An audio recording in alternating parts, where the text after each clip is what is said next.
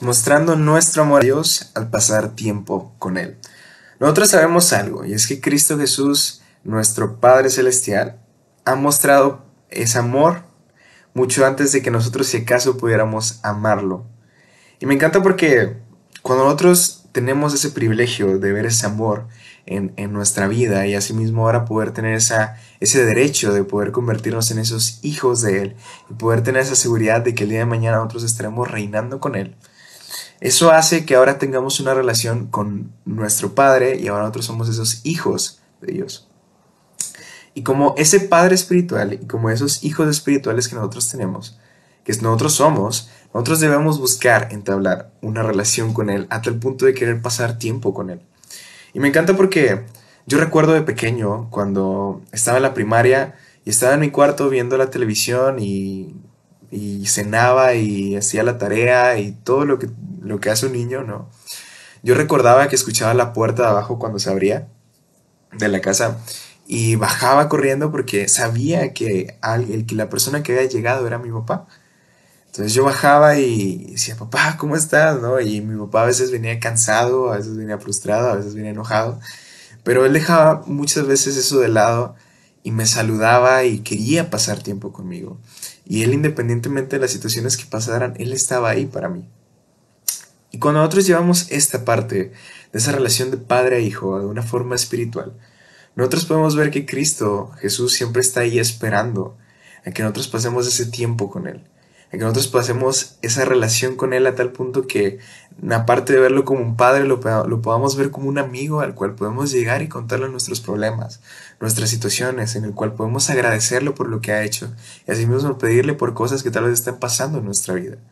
Y nos ha dado esa herramienta tan importante que es la oración.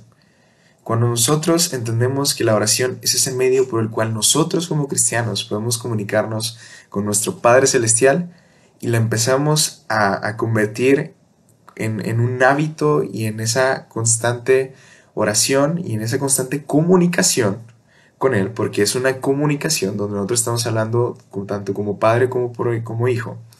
Nosotros podemos ver cómo Dios va a ir obrando en nuestra vida, porque vamos a buscar pasar tiempo con Él y vamos a realmente enfocar nuestra confianza y nuestro corazón va a estar buscándolo a Él.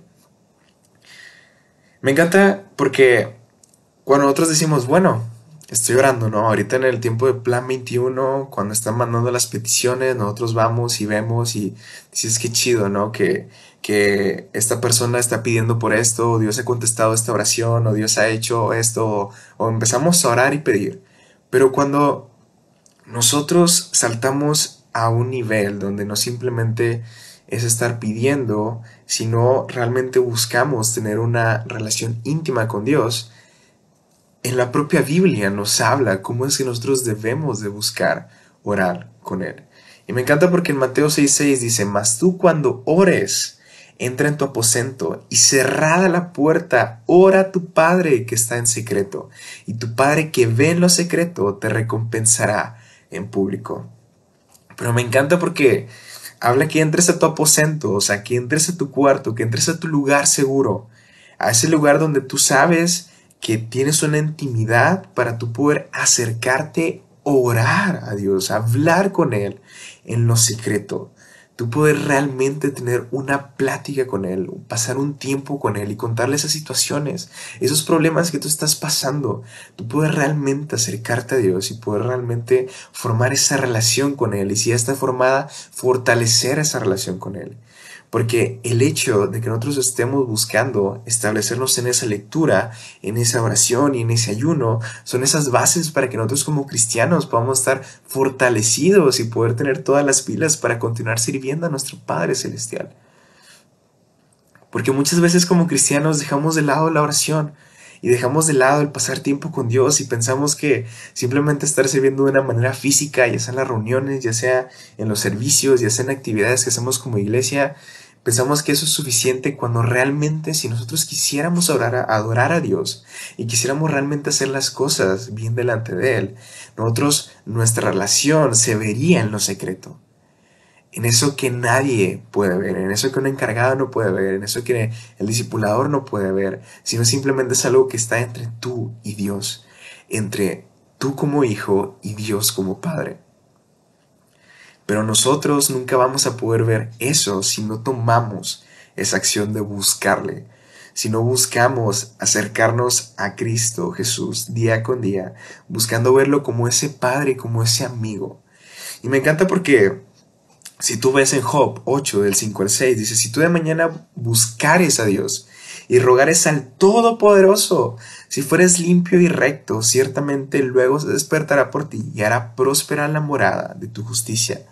Y me encanta la parte cuando dice, si tú de mañana buscares a Dios, está hablando que nosotros tenemos que realizar una acción para nosotros acercarnos a Dios. Tú tienes que buscarlo, tú tienes que dar ese paso a acercarte con Él.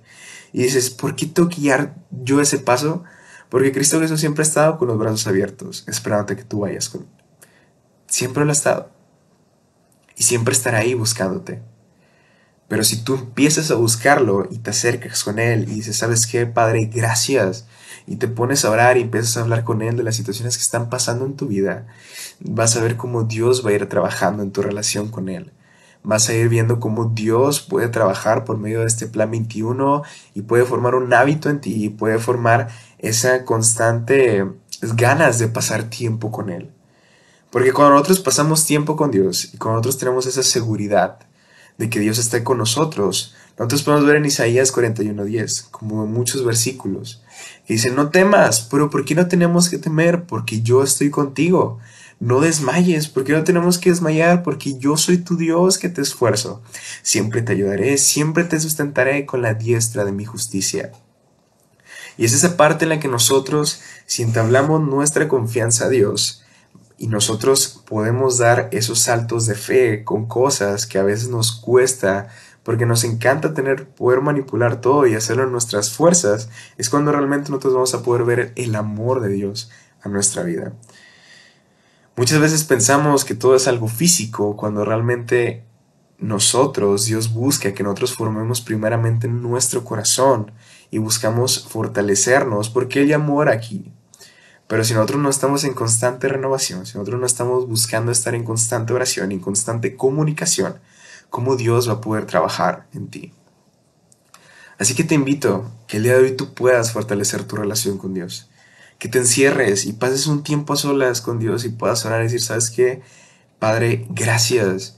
Y le empieces a contar tus problemas como si fuera un amigo, como si fuera ese padre que tal vez tienes físico, como si fuera esa persona a la cual tú le tienes una confianza enorme y poder hacerlo. Y asimismo también invites a alguien a que pueda estar orando contigo y que pueda realmente ver y sentir ese amor que Dios tiene para con nosotros.